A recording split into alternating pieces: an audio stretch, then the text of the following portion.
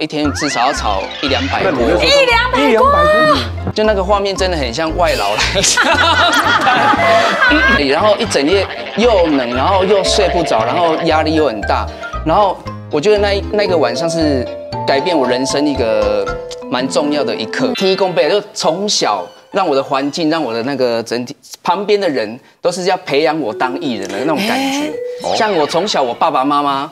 正常爸妈都是把小孩关在家里，要读书啊，要写功课啊什么。对啊然后我爸妈不是，他们来暗时好，一两个人无聊吼，啊无惊，来 KTV 唱歌，啊来去小食部吼，要来要来唱卡拉 OK 饮酒啊，要来唱卡拉 OK。重点是我们都会很常偷听他们讲一些八卦，嗯有没有？然后比如说，爱你什么人啦，哈，哎呦。本地无咧做伙，我听你咧哈，爱爱呀，给拜拜啦，哈，哎呀，给拜拜什么意思？你你你爱爱，给拜拜什么意思？有爱爱给拜拜啦，奥莱亚给捧哥，要贵给谁？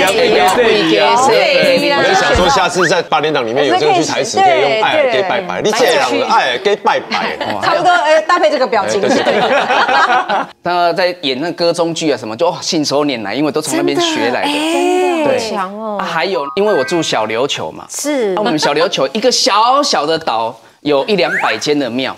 所哦以大概三百六十五天，有三百天都有 歌仔戏，四处都有歌仔戏可以看。哦，耳濡目染。从小就会看那个歌仔戏那边学哦，哎呀，那讲啊那讲话，结果殊不知现在演艺圈来来入这行的时候，哦，好好用，好好用，不够好用。啊，难怪你那么厉害，我都常觉得你的反应超好。而且我那细汉哦，看是那歌戏哦嗯，爱看到每天放学，然后就去看歌仔戏，哎，然后还热爱到我自己也去演。哦 我是演一个老夫人，老夫人，老老夫人有这么年轻吗？结果他们说导演说。我给你演老夫人，啊你也无行呢，你都要存在人的小三港。对呀，反正野台戏还好，要求没那么高。然后后来大一点之后，国中的时候更确立，更确立说我一定要走这行，是因为我有我有一个偶像是。叫做蔡依林，九恋。依林，哎，他那个唱跳的时候，在舞台上发光发热，然后那个一个动作，哦真的那个眼神有没有？然后在舞台上享受那个掌声，享受那种很光芒的感觉，我就觉得我一定要像他一样，因为我从国中的时候，其实我们家有家道中落，所以我从国中开始放学都在班超啊啦，去工厂班班超啊啦，餐厅啊，服务生啊就，什么都做。通讯行啊。电子作业员我都做过，对然后尤其是电子作业，其实是因为我那时候要来红人榜比赛，那隔周录嘛，两周录一次啊。隔周那一周呢我们要来上课，要来上课。要来三立上课，所以变成我几乎每个礼拜都要从南部来到三立台北这里要上课，所以那个车钱就对啊。很伤。对，安尼我故意来北部应征那些作业员哦，应该就离那个电视台比较近一点点，然后又有钱可以赚，好像还不错。然后好，我我就我就去应征了那个桃园一个电子大厂。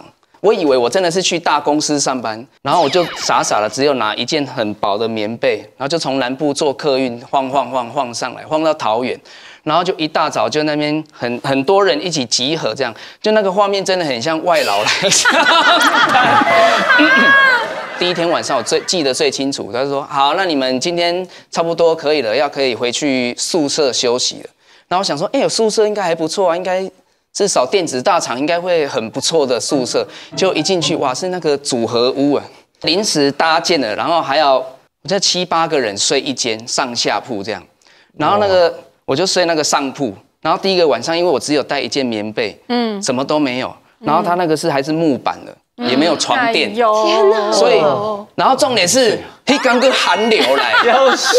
要死鬼！今天，我那一天我真的人生我不知道，我想说我怎么会走到这个地步，地步，然后自己一个人来到北部，然后睡在那个床板上，你只要一转身就啪啪啪啪啪啪啪。啪，哦。然后也没有一颗枕头，因为真的没有钱买枕头，哎呦，然后那个棉被又薄，然后寒流你知道我，然后就屁屁抓，就缩缩在那里，然后一整夜又冷，然后又睡不着，然后压力又很大，然后我觉得那那个晚上是改变我人生一个蛮重要的一刻，嗯，让你想通什么？因为我想，我觉得窝在那个棉被里面说不行，我都已经可以走到这个那么落魄的地步了，这么苦我都可以撑得过来了。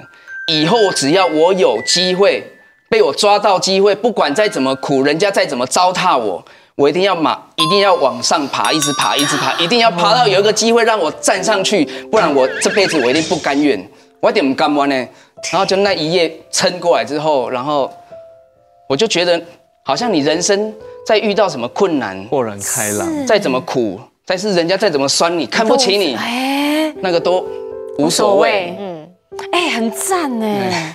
所以你有没有发现，其实很多的经历，好像他他都是必须要有的哇。人家会觉得哇，你爸爸诶，哇，大公司在上班呢，哎，啊怎么啊那永永邓啊你家在炒麻花卷，啊人家会就开始闲言闲语啊，哎啦，就是吼比赛比未过关呐，哦，人家拢过二十关诶，啊这个唱拢唱未过关呐，吼，啊一定吼假头路吼啊失败啦，三面会就会很多闲言闲语，然后你这压力比较大，压力很大，然后你就会。难过倒还好，但是你就会怕身边的阿公阿妈什么妈妈他们会难过，所以这个心理障碍是最难克服了。但是啊，想说啊，算了，在一共了，差不差别啊？对啊，都都走到这里的，是，对。然后，所以我第一天最好笑是第一天我去报道的时候，我就看那两锅哇，那个锅子超大，那你像那个中破菜在炒大菜那种，很大一锅。然后很可怕的是，他说你要搞炒好哦，你如果一个手势不对哈，超会搭，不是超会搭，不是超会搭，是那个麻花卷是饼干嘛，就是面粉饼干，脆掉，脆掉，就会脆脆脆果果，我不一定都不会背起的，所以你就碎离，有时候我就炒的很很很小心翼翼，而且那个非常热，嗯，两大锅那个瓦斯不能关嘛，然后随时要炒，一天至少要炒一两百锅，一两百锅，那时候在那边当炒手，那如果台北有通告嘞，我就。台北有通告，就对那个很对不起老板娘的。我就说，头给你有拍谁啊？我后礼拜拜三要去龙岩哈，啊，所以恁规间店 爱休困。规间店休困。因为我想，爱哥愿意请你。不是麻花卷，就是搓搓麻花卷的人很多，但是你要油炸的。跟要炒手那个很辛苦，很辛苦，很难找，几乎没有人想要做那种工作。这样子，所以只要比如说油炸了休息，或者是我说要休息，整间店就要跟着我们休息。哦，是，对，所以后来他们愿意配合你。老板娘就很，老板娘还还有很无奈的说：“喝老婆进来，你去比赛了，喝老婆休困休困。”真的是贵人呢，就休息。啊，你五演的春哥都来帮你炒，安尼有跟完。我就没有，我就是贵人呐，炒一炒，然后可能就下班就赶快坐船，又坐客运，然后坐到台北比赛比。完隔天又发又搭船回去做头班的，继续炒麻花卷这样。哦，这几天做辛苦了。嗯，对，我觉得是做什么，其实你看他为了梦想，然后从琉球就愿意这样做。对，那么路途遥远，然后跑到台北这样子来回，但不这样不行。身边也有人愿意这样子帮助你，真的是没有这样不行。就要生活，为了钱。梦想，我跟你讲，这个时机哦，讲了这个气氛，嗯，你一定该唱一条歌。啊，那个你超级夜总会啊啦。